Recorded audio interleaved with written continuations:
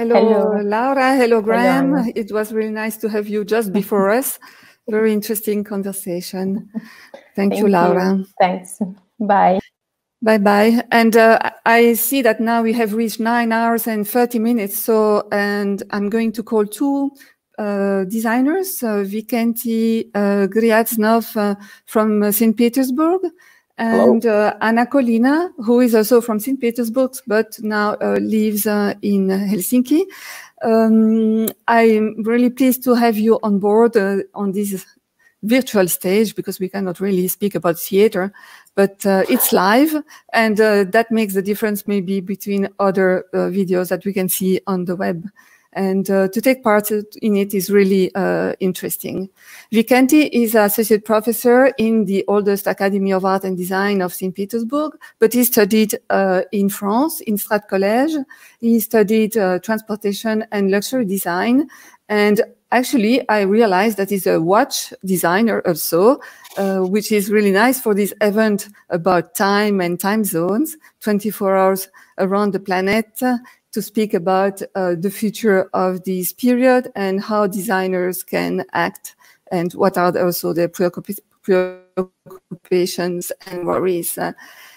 Vikenty chose a word to question a paradigm, paradigm, which is communication. And this is why I asked Anna Kholina, who introduced me to Vikenty, to come also because she's a, a graphic. I knew her as a young graphic and uh, uh, service or interior designer uh, of the Polytechnic of St. Petersburg. Uh, she came to Milan also uh, after she had hosted me in St. Petersburg to visit the, the, the city and uh, she took part took part in a in a workshop with students of uh, the Polytechnic. And since then, we've now and then kept in contact. Uh, I know that she's now uh, doing her doctoral studies in Aalto uh, at Helsinki. And um, she's also senior service designer at the Futurice uh, agency. So um, I thought it was nice to have her around to have this conversation. But the first question will be to Vikenty. Why did you choose communication as a keyword since you are a product designer? Uh, yeah, but actually, uh, you know, I'm a teacher in uh, Design Academy. And, um, you know, during these uh, Zoom sessions, uh, we understood that the physical communication became vital for many people and for me, really, really and sometimes sitting nearby my students and maybe just a glance, uh, dropping a glance on my student and keeping silence is making more sense just than just sitting and looking into the camera because I cannot see eyes of my students. And so this way of exchanging information right now is completely um, corrupted. Uh, I don't know, it's, it's very, very strange. And uh, right now, internet became uh, as a new sense organ for for people. And uh, yes, I understand it saves lives and uh, it's a barrier uh, against this uh, COVID. But um, you know, communication is a core factor of our living. So that's why I understood that the communication right now it's the main thing for everybody in the world. We're like on a ground ground zero of understanding that uh, internet is just a tool and this is and this is just a tool that's all. We need physical things. Okay but then when we spoke yesterday at one point you said but uh, we are afraid to touch things around us in the city uh, to take a coffee in the academy because who has touched the button of the coffee machine before us? Uh, so also this morning I, I heard a conversation about trust and about the, the anxiousness that is around us uh, with this COVID uh, virus. Yeah, actually, you're completely right. It's it's became really scary sometimes to go out. I mean, in April, in May, it was really, really scared, scary to go out because you're afraid of everybody who can be infected, and you are you don't trust to anybody. You don't trust to any object. You don't trust to any person. You are uh, going out with sanitizer, with a mask, you know, like like this, and so uh, it's um, it's a new challenge of understanding people because if you're wearing a mask, um, you cannot read lips, and you you need to um, to use your ears like one thousand percent more than it was before when you were lose when you were reading lips. You know, for for example, for me, I'm a little bit deaf on my uh, right ear, so I'm I'm I'm I'm reading lips. You know, uh, so um, this trust became, you know, like the second core factor for me. It's it's for me. okay, and uh, what kind of solutions do you think we could develop uh, in in St. Petersburg, in Russia? What are the uh, the designers thinking about, or the government yes, speaking okay. about? Yeah, um, I was thinking about it. Um, there are two ways of uh, finding the solution of it. The first one is to think about object, you know, uh, and to think about how we can operate this object, I don't know, with voice or maybe with gestures. But the other thing is to uh, design completely new services, completely new ways of or scenarios of our living, you know, of um, how we operate in our everyday life. Um, I'm not very good in service design. Annie is very good. You know, she she she is professional, so she can she can um, tell us more. But in product design, I can say that we need to find a balance between um, uh, between uh, this safety thing and um, um, that we are giving this safety to the third parties you know that we that these uh, safety things can be abused by the government i don't know or other companies like i don't know facebook or i don't know yes at the same time uh, yesterday we were speaking about the communication on zoom also uh, when people disappear be behind their camera because yeah. they switch off the camera so you have maybe some experience anna you want to speak about and how we can come out of this kind of uh, blackout uh, of whom, whom we are speaking with. Yeah, precisely. And exactly like we spoke yesterday, now with the COVID situation, there were so many more opportunities than before to communicate with each other. I remember when the whole thing started, I was jumping on every online event ever just to see people. And I was attending, for example, some Service Design Drinks in Berlin and other conferences that were before not accessible as such. But then I noticed again that, um, for example, working with different clients, um, not everyone turns on cameras.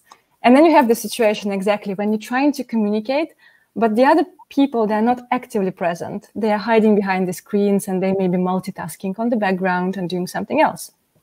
So how do you interact with them? How do you capture their attention?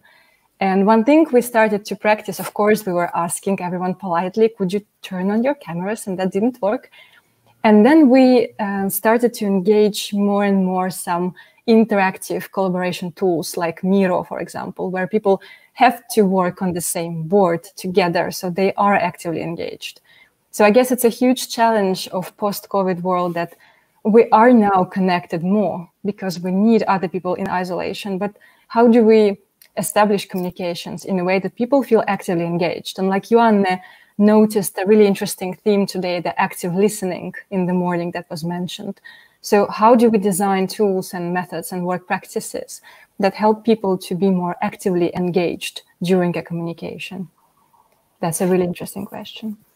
Yes, and uh, uh, so there was the question that we thought if we need to be controlled all the time to make sure that we don't do things that are wrong, um, it's a bit frightening somehow. So we need to communicate. We need to to keep um, to, to we, we need to turn back to communication, even physical communication. But then, if we are preventing that, and we ask people to be one meter distance, uh, and they are controlled because people in the street walk around with special machines to uh, understand if you have fever or you don't have fever. Um, who will decide what you have to do, what you can do in the street uh, after COVID, and how will you be? Will we be able to communicate in the old way, or do we have to invent a new normal, as we hear all the time, speaking about this new normal? Will it destroy our freedom? This new normal? Mackenzie, what do you think? Um, actually, I'm really happy that St. Petersburg is really near to Finland And we know that in Finland, um, you know, people are making jokes that, uh, you know, you need to stand 1.5 uh, meters from each other. It's very near for them. They said normally so we are like two or three meters. So uh, I think we have a completely new normal. It means that we will change our traditional way of communicating and we will stand alone i don't know not near like like we did before in for example in russia or in france or in germany we will make a bigger distance. So finland for us right now it's a big uh, example of how um, we can keep uh, our life uh, safe and, um, and, and and not fragile. Yes so no hugs. Just no hugs. hello. Yeah. But this okay. is a really interesting issue that Anna, you mentioned that um, communication about the COVID situation, it can create a feeling of control when you are measured and the temperature is monitored and so on. But at the same time, it can create trust. So what is this difference that makes one or the other? That when do we, for example, Russia, I guess, goes a bit more in the way of control and trying to, I don't know, Vikenty, maybe you know the context better. I'm just judging from the media Unfortunately, I'm locked away from my family by the borders at the moment. And at the same time, I feel that in Finland, we are gravitating a bit more towards trust. And one of the things that I felt that the government really did well here is that they established quite open communications, not just in terms of the data they provided, but also like being there every day for people and creating these briefings. And one of them was really touching. Uh, Finnish government, I think many governments did that, but they made a special governmental briefing for children, for kids, when all the ministers, the prime minister and all the ministers, they were answering questions like, when can I see my grandma again? Or how, how can I be not so afraid of the virus? And they were explaining in really, really simple terms that kids can understand. And I guess this level of openness, trust, and showing up, uh, it creates some, some level of trust exactly in society that people are following the regulations and trying to distance and so on. So I felt that in Finland, there was quite a bit of open and trustful communication about the situation that helped us to get through this couple of months. Yes, I think we had some speeches about also the, the huge amount of data that were shown on television or in the newspaper and the difficulty to make sure that those data were represented in such a way that they were true once they were transferred into a diagram and that the, analy the, the analysis done by the specialist or by the graphic designer was also uh, correct and could give the real information to the public. Uh, we had, uh, in, in fact, uh, lots and lots of information also every day in Italy, for example, up to one point, and then they, they decided to do it once or twice a week. So it was like we were left alone for two days. Uh, we had to rely maybe on the newspapers or look for other kind of uh, information to to be sure uh, of what we we got. Um, and I think yesterday we also mentioned in our conversation before uh, we start we we met today. Uh, we spoke about the biometrics uh, control and the facial the facial control that are also put up um, as solutions in cities or companies. Uh, and you were explaining as well the difference between the use of coins and uh, uh, banknotes that now you don't have anymore in, um, in more or less in, in Finland that you always use a credit card, a touchless, so you don't have the management of uh, physical products.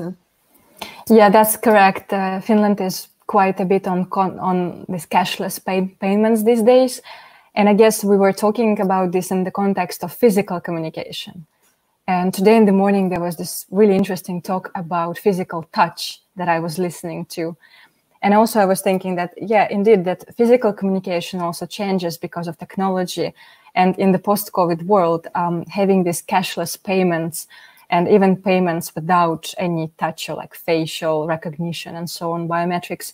Of course, it makes it a bit more safe to be in the public spaces versus when you have to um, touch everything by yourself, all the buttons and all the interfaces. But at the same time, like also you mentioned that how much we can rely that our privacy will not be violated when we use biometric data, especially now that recently IBM and several other companies, they decided to stop providing um, biometric services, facial recognition services. So this is a really interesting question. And Vikenty, what do you think about it? Uh, yeah, actually, you know, um, as a product designer, I'm also in, I was involved during uh, uh, April and May, and right now I'm still in, involved in few projects for the post-COVID world. So, for example, I'm I'm you I was doing um, the the things for the for the masks. I was I, I was developing uh, special cameras. They can detect your temperature. So it's it's just like a surveillance camera on the street, and so it can detect how many meters you have between people and what is your temperature. So if you have a high fever, it will, you will be de detected as a dangerous person, and so uh, possibly that emergency will come to you and take you because you can be a I don't know infected person. So um, right now I know that um, it's a big demand for these products, and uh, um, I know that lots of companies in uh, in Eastern Europe right now is taking care about all these data, um, um, let's say, service um, palaces, I can say, uh, because they understood that they will have a, a, huge amount of data to take from all the streets, to take from all the uh, houses. So um, um, you know, talking back like few minutes ago, we are like antipodes to, to the Finland. We don't have any any information from our government. They just spoke maybe once or two times during these two months. And so we got this information only via WhatsApp, for example, the Telegram or Zoom sessions. So um, people um, right now really prefer to pay only by cash. Oh, by, by, by sorry, by by by uh, cards by banknotes or yes. money no no no no by by by cards no oh, by no cards. Mm. no no cash yeah they're afraid of it but actually right now it's um, it's summer people say okay there is nothing nothing bad everything is okay because it's it's it's plus 31 and it's okay yeah, we have the long nights of St. Petersburg, but yeah. it doesn't mean and that the virus is completely gone, probably. So there is a there is a sort of contradiction on one on one side we we want to turn back to communication and to see people and to touch things and on the other side we are afraid of communicating physically yeah. and um, this is really a dichotomy uh, we will probably carry around us for a while and people some people might be much more anxious about this than than others uh, it will all depend also on how uh, the communication is done um, for example, in Italy, when I came in this uh, little village, uh, everyone had to wear gloves in the bars and in the shops. And but at one point they said, "But we don't have, we cannot buy gloves uh, anywhere." So we prefer to wash our hands 10 times rather than wear gloves that we have to reuse and we don't know how to wash them and so on. So at one point, the government decided another thing, and then they they could take off the gloves and they wash their hands 10 times if they need to to to do it. So um, yes there is this uh, this this this fair uh, which is underground. And it's a pity because as you say communication is needed. We need to see the eyes to touch to hear uh, we have to avoid the screens that we always have uh, in front of us and and makes our us tired. We also hear about Zoom fatigue, uh, and I think it's real. this uh, kind of this uh, Zoom fatigue. So yes, how, but how could we find new solutions then to answer to this dichotomy and to uh, two two faces of the same uh, of the same problem? We we want to see each other. We want to be in communication, but not only through uh, digital. So yeah, how can the designers invent something? It's a great question, and in my opinion, um, I guess the, the one of the most important things is this mind shift.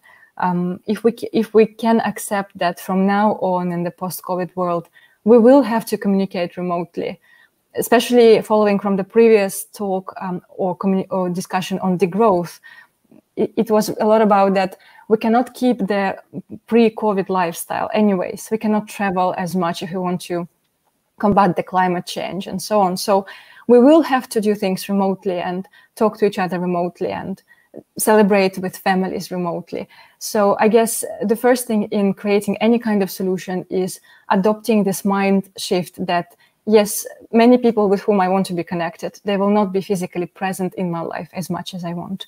So after that, I guess we might want to um, discover some interesting solutions that how to create the same feeling of closeness, connectivity, and sharing meaningful experiences while being remote. And it is a huge challenge. I'm not sure if anyone really tackled that um, in, in the everyday communications. I can just tell maybe from design perspective, what I've noticed in the recent years, months even, um, the widespread of tools which are remote collaboration first by default, such as Miro, Figma, and others, which allow people to communicate really seamlessly on creating anything together. I think that's already a huge step forward that we can now um, do the design and readjust our design processes to remote work while being seamlessly connected with the help of these design tools.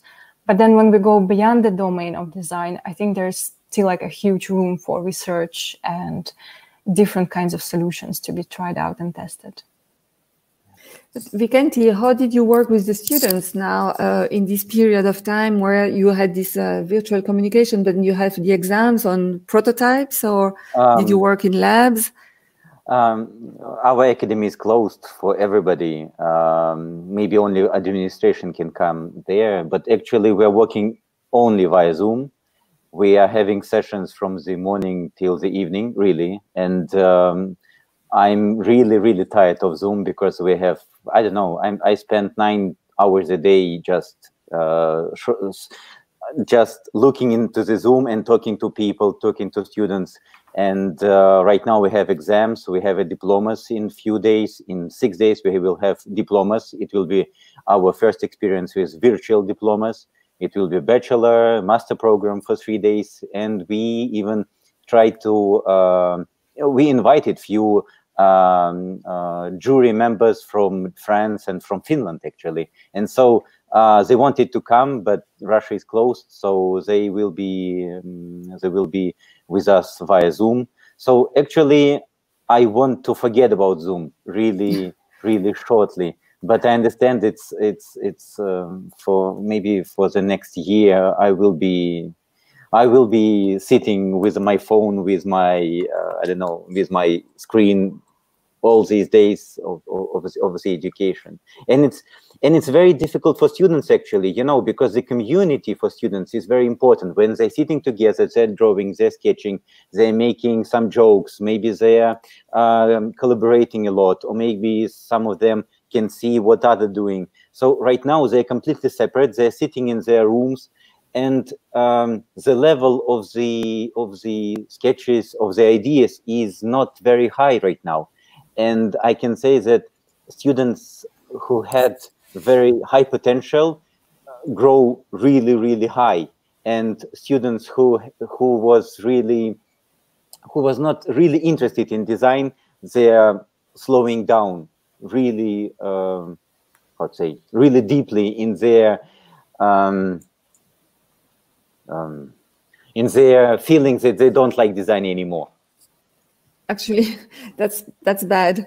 Um, yeah, it's very bad. For me, it's very bad because I wanted to make a community because we have in one group only 9 to 10, 11 persons. So for me, the, uh, combining them and making them like a mixture of different ideas of exterior design, interior design, color and trim, or maybe conceptual design, advanced design. And right now they're completely uh, separated. And um, yeah, it's, it's very, very frustrating for them.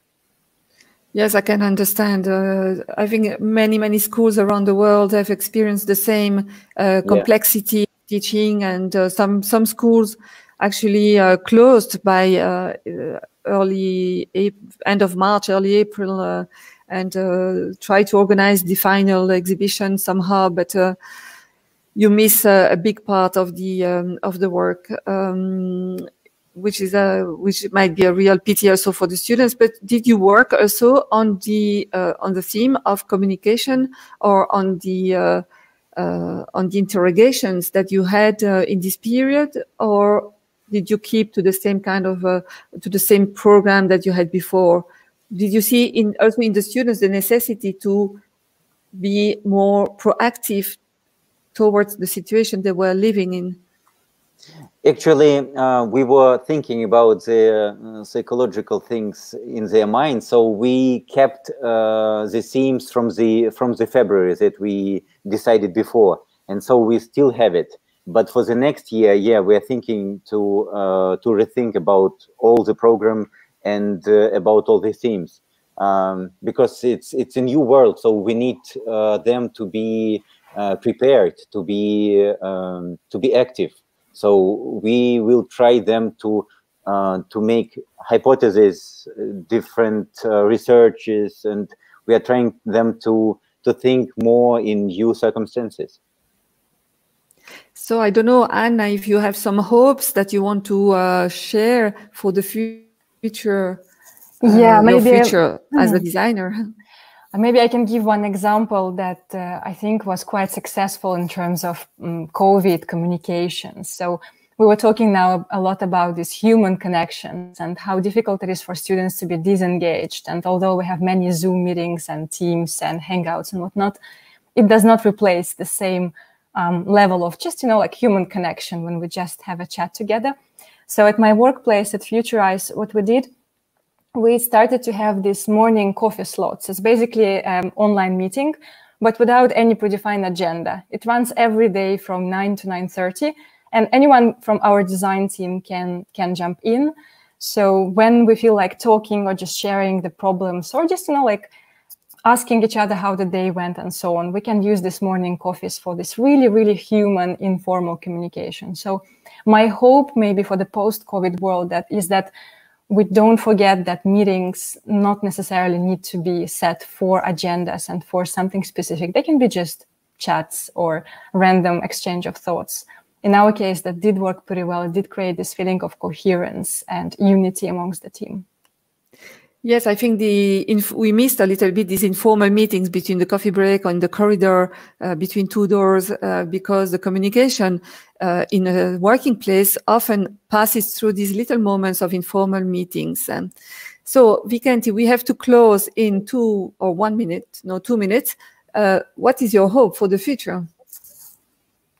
Uh, my hope for the future, um, actually, I don't have hope.